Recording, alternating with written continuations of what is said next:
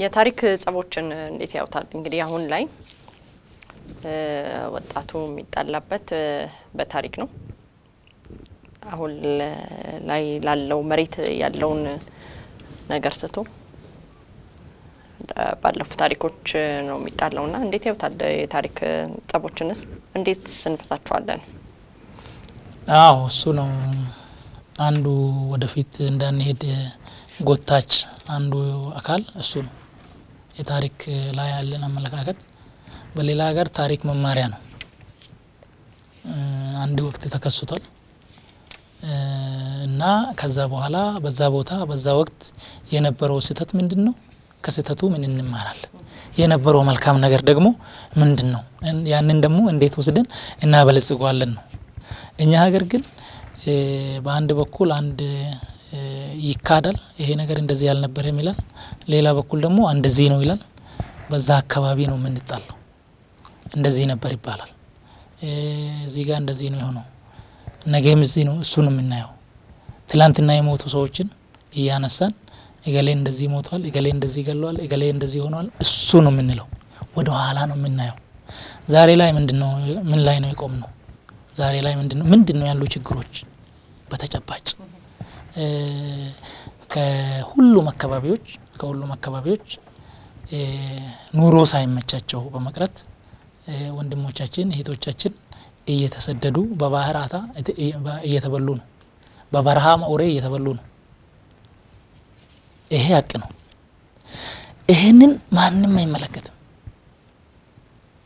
በመቶዎች በሺዎች የሚቆጠሩ ዜጎች ዛሬ እያጣን ነው። ይህንን የሚመለከት ሰው የለም። ከዛሬ መቶ ዓመት በፊት የሆነውን ልንመልሰው የማንችለውን ግን ሁሉም ያውቀዋል። ሁሉም ጠዋት ማታ ያወራዋል። ይሄ በጣም ችግር ነው ማለት ነው። ይሄ በጣም ችግር ነው። በአንድ በኩል የሆነው ነገር ከሆነ የሆነው ነገር ከሆነ አንመልስም፣ መቀበል የግድ ነው እውነታውን። ያንን እውነታ ራሱ የሚያመጣው ማን ነው? ፖለቲከኛ አይደለም። ታሪክ የፖለቲከኛ አይደለም። ታሪክ የባለሙያ ነው። ታሪክ የባለሙያ ነው። የታሪክ ምሁራን አሉ። እሱን ያጥኑት። አጥንቶ ሲመጡስ እኛ እንማርበት እንማርበት። በዛ ደረጃ ይሄ የምንገዳደልበት የምንበላላበት መሆን የለበትም። መልካም እንግዲህ ስለ ታሪክ አንስተናል። አጼዎቹ በተለያየ መንገድ ጉድ የሚያስብሉ ለጆሮ በጣም ደስ የማይሉ ታሪኮችን ሰርተው አልፈዋል። ደርግም እንደዛው ታሪኩን ሙሉ ለሙሉ አጥፍቶት ሄዷል። ከዛ በኋላ የመጣውም መንግስት እንደሚታወቀው ወንዶች በየእስር ቤታቸው እየተደፈሩ በኃይል በረገጣ እሱም እንደዚሁ ታሪክ ሰርቷል። እናንተስ ታሪክ እንዳትሰሩ እንዴት ነው የምትጠነቀቁት? አሁን ለውጡን የያዛችሁት ምንም እንኳን በእናንተ ዘመን ወደ እስር የታጎረ ሰው ባይኖርም ምናልባት በእናንተ ዘመን ያልተደፈረ ወንድ ቢኖርም ነገር ግን ታሪክ ደግሞ ወይም ደግሞ አሁን ላይ ያለ እናንተ ላይ የሚነሳ ነገር ለምሳሌ የጌዲዮ ችግር ብናየው ሰዎች ተርበዋል፣ ተፈናቅለዋል፣ መንግስት በችልታ አልፎታል ትባላላችሁ። እናንተስ እንዴት አድርጋችሁ ይሄ ታሪክ እንዳይሆንና እንዳይቀጥል በእናንተ ላይ በሌሎቹ ላይ የነበረው ነገር እንዴት አድርጋችሁ ትሰራላችሁ? የጌዲዮ ህዝብ ዝምታ ለምንድን ነው የመረጣችሁት? ወይስ አልሰማችሁ? ይሄ በእርግጥ ታሪክ እንዴት ነው እናንተ የምታደርጉት ነው የጠየቅሽው። ምንድን ነው ታሪክ ከዚህ በፊት የተሰሩ ችግሮች ነበሩ። በእነሱ ላይ ወቀሳ አንዱ አንዱን እየወቀሰ አንዱ አንዱን እየወቀሰ የመጣበት አግባብ ትክክል አይደለም ነው። ጠቅላይ ሚኒስትሩም ያለው ይሄንን ነው። ይሄንን ዶሴን ጊዜ አንዱ ሌላውን እየወቀሰ ፕሬዚዳንት ለማም ቢሆን ከዚህ በፊት በ2009 የተናገረው ይሄንን ነው። ያ መርህ ነው። ምንድን ነው የተናገረው? ዛሬ ላይ ሆነን ነገሮችን መገምገም ነው እንጂ የሚኖርብን ከ27 ዓመት በፊት የወደቀውን የደርግ ስርዓት ከረገምን። ወይም ከዛ በፊት የወደቀውን የንጉሱን ስርዓት ከረገምን። ዛሬም ሆነን ደግሞ ትላንትና የተቀየረውን እሱ እኮ እንደዚህ ነበረ፣ እሱ እኮ እንደዛ ሲያደርግ ነበረ፣ እንደዛ ሳይሆን እኛ ለዚች ሀገር ቅድም ባነሳሁት መሰረት ለዚች ሀገር ዲሞክራሲ መሰረት የምንጥልበት። በዚች ሀገር ላይ ሰው በማንነቱ ሳይሆን በብሔሩ ሳይሆን በሃይማኖቱ ሳይሆን በሰውነቱ የሚከበርበት የሁሉም ጥቅም የሁሉም መብት የሚከበርበት ሁሉም በእኩል የሚታይበት እንደዚህ አይነት እድል እንዲመጣ የህግ የበላይነት ከምንም በላይ የህግ የበላይነት እንዲከበር ሰብአዊ መብት እንዲረጋገጥ የመናገር ነጻነት እንዲረጋገጥ የፖለቲካ ምህዳሩ እንዲሰፋ የእኛ ብቻ ሳይሆን ህብረተሰቡ የሌላውንም አመለካከት የሌላውንም አተያይ የሌላውንም ፖሊሲ የማዳመጥ እድል እንዲያገኝ ማድረግ ነው አላማችን። አሁንም እያደረግን ምናልባት ከመጣንበት ስርዓቶች ይሄ እጅጉ ሰፊ የፖለቲካ ምህዳር የታየበት ነው ብዬ ነው የማስበው። ከዚህ በላይ መስተካከል አለበት። ቅድም ያነሳናቸው ጉድለቶች ሰዎች መብት እየመሰላቸው ህገ ወጥ ነገሮች ውስጥ መሳተፍን መጸየፍ ይኖርባቸዋል። ህግን ማክበር ይኖርባቸዋል። ዜጎች ከዜግነት አንጻር የሚገባቸውን ክብር ማግኘት እንዳለባቸው ሁሉ ደግሞ የሚጠበቅባቸውን ግዴታ መወጣት የሚችሉ መሆን እንዳለባቸው ተቋማት ተገንብተው ሁሉንም ዜጎች ከጫፍ እስከ ጫፍ እኩል የሚያገለግሉ የፍትህ ተቋማት፣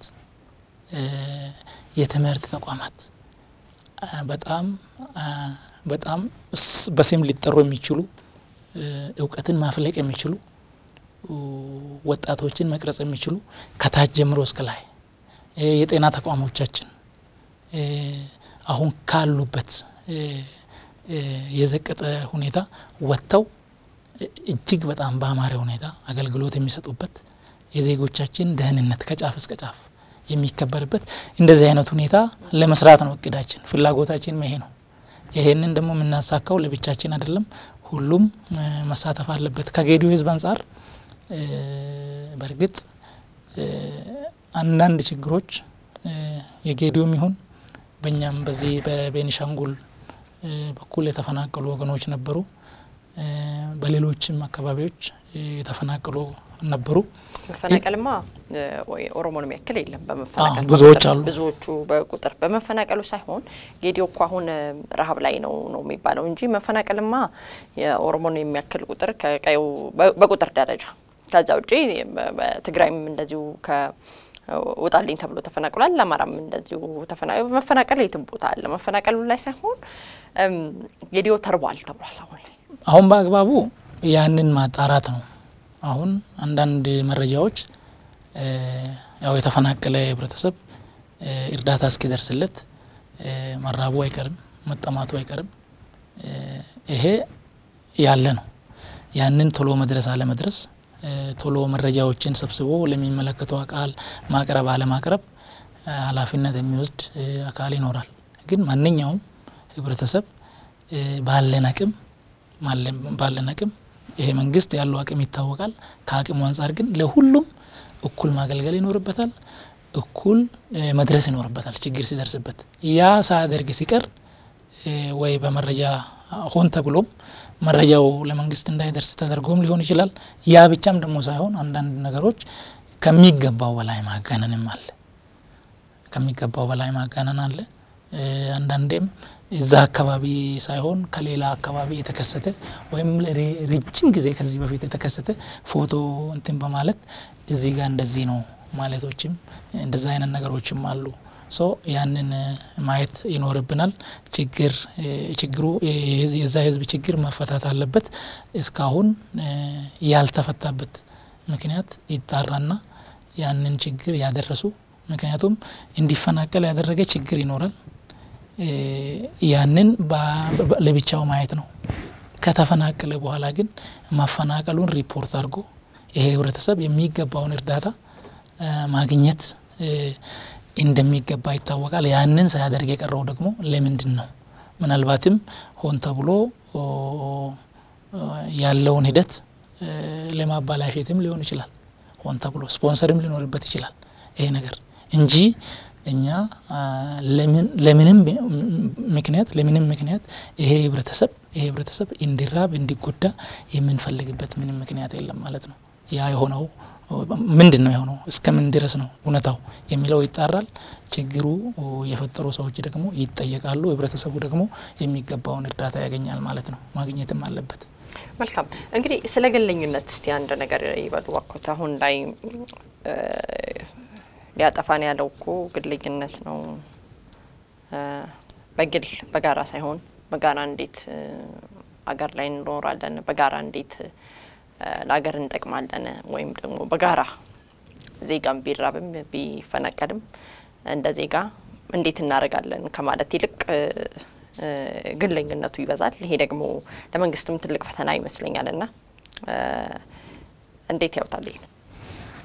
ይሄ በጣም ትልቁ በሽታ ይሄ ነው። በቡድንም በግልም ይሄ በሽታ አለ። ሰዎች ያው ነገሮችን ከራሳቸው እይታ አንጻር ነው ከራሳቸው ጥቅም አንጻር ነው ብዙ ሰዎች የሚመለከቱት። ለነሱ ከጠቀማቸው ትክክል ነው። ምንም ህገወጥ ቢሆን ምንም ኢሰብአዊ ቢሆን ለእነሱ ጥቅም ካመጣ ትክክል ነው። አሁን ዜጎቻችን የሚሸጠው ማን ነው? በዚህ በኩል እንደዚህ ያለ እዛ ጋር ከሄድሽ በጣም በጥቂት ወራት ውስጥ ሀብታም ትሆኛለሽ ተብለው ገንዘብ ከሷም ተቀብለው ከሌላም ተቀብለው የሚሸጡ ለችግር የሚዳርጉ አውሬ የሚያስበሉ የራሳችን ወገኖች ናቸው፣ ደላሎች፣ ሰው ዝውውር ማለት ነው። ከዛ አንጻር አሁን የህገወጥ ግንባታ ውስጥ ማን ነው የሚያደርገው? ከተሞቻችን ለሁላችንም በሚያኮራ ደስ በሚል በሚጠቅም መልክ ማደግ አለባቸው የሚለውን አግባብ የሆነ መስመር ትተው ለእኛ እስከጠቀመን ድረስ ይሄ እኮ አይ ውሸቱን ነው መንግስት አያፈርስም፣ ምንም ችግር የለም፣ በኋላ ይጸድቅልሃል ከሰውየው ገንዘብ ለጊዜው ለመውሰድ ማለት ነው። ታሪክም አንጻር ከዚህ ሲመጣ አሁን ይሄ የቅድም ያነሳሽው የፍንፍኔ ጉዳይ ፍንፍኔ ላይ ጥያቄዎች ሲነሱ ምንድን ነው ያ አካባቢ በእኛ በኩል ያለን ስጋት ምንድን ነው? በዛ በኩል ያለው ጥያቄስ ምንድን ነው? የሚያ የለም። አሁን በዛ አሁን ገበሬ ሲፈናቀል ለማኝ ሲሆን ዘሩ ሲጠፋ ማንም ምንም አይልም። ለቤት ለኮንዶሚኒየም ደግሞ ያው ፍላጎት አለ። ያንን ስናስብ ጥያቄው የኛ ብቻ አይደለም። የምንኖረው በዚች ሀገር እኛ ብቻ አይደለንም። ሌላውም አለ ሌላውም አለ። እኛ የምናደርጋቸው ነገሮች ሌሎች ላይ ምን ተጽዕኖ ይፈጥራሉ? ተጽዕኖ ሲፈጥርስ ምንድን ነው ሊከተል የሚችለው? ስለዚህ እንዴት ነው ፍላጎቶቻችንን የምናስማማው? ለራሴ ብቻ ማሰብ አይበቃኝም። እኔን ለራሴ ብቻ ማሰብ አሁን አንቺ ልጅ ቢኖርሽ ያው ልጅ አለሽ አደለ? ያ ልጅሽ መልካም ልጅ ካልሆነ እኔና አንቺ ጎረቤት ብንሆን ጉዳቱ ለእኔም ጭምር ነው፣ ለአንቺ ብቻ አይደለም። እየሆነ ያለው ግን የእሷ ልጅ ነው ቢጠፋ እኔ ምን አገባኝ ነው። የእሷ ልጅ ቢጠፋ ምን አገባኝ፣ ምን አገባኝ፣ ምን አገባሽ፣ ምን አገባችሁ። እንደዚህ አይነት ነገሮች አሉ። እኔ እስካልነካኝ ድረስ ግን ዞሮ ዞሮ እኔን ይነካኛል ያ ነገር። ያንቺ ልጅ ወይ ሌባ ከሆነ ወይ መጥቶ እኔን ይሰርቀኛል ወይም ደግሞ የኔን ልጅ ስለሚገናኙ በሆነ ሁኔታ ሌብነት ያስተምራል። so ዞሮ ዞሮ ምንድን ነው ለአካባቢውም ለእኔም ጭምር ችግር ነው ማለት ነው። so የልጅሽ ጸባይ ይስተካከል ዘንድ እኔ ኃላፊነት አለብኝ እኔ ኃላፊነት አለብኝ። አሁን ሰው ከቤቱ ቆሻሻ ይጠርግና ሌላ ሰው ቤት ፊት ለፊት በራፍ ይጥላል። ራሱን ነጻ ያደረገ ይመስሏል፣ ግን አይደለም። በጣም አጭር አስተሳሰብ ነው ይሄ። እዛ አካባቢ ችግር ከተፈጠረ ባክቴሪያ ከተራባ በዛ በአንድም ሆነ በሌላ መልኩ ወደ ቤቴ መምጣቱ አይቀርም። ወይም ያኛው ቤት እዛ ጉዳት ከደረሰ ያ ጉዳት እዛ ብቻ አይቀርም፣ ዞሮ ዞሮ እኔ ጋም ይመጣል ማለት ነው። so ነገሮችን ሰፋ አድርገን በሰፊው ሁኔታ ውስጥ ደግሞ ራሳችንን አስቀምጠን በግራም በቀኝ እያየን balance ኡን ጠብቀን ካልሄድን እኔ ብቻ እኔ ብቻ ወይም እኛ ብቻ የሚለው ነገር ገደል ነው የሚከተን። ከዛ ህብረተሰባችን ዜጎቻችንም መመለስ አለባቸው የሚል ሀሳብ አለኝ። እሺ እንግዲህ ያው ጥያቄዎችን በሙሉ ጨርሻለሁ። እዚህ ድረስ ስለመጡ በድጋሚ በጣም አመሰግኖታለሁ። መጨረሻ ማስተላለፍ የሚፈልጉት ነገር ካለ እንደ እንደ መንግስትም ባለስልጣን እንደ ድርጅት ሊያስተላልፉ የሚፈልጉት መልእክት ካለ እሱን ፈቅዳለሁ። ማስተላለፍ የሚፈልገው ነገር ምንድን ነው? ያው ለውጥ ሂደት ነው። ለውጥ ሂደት ነው።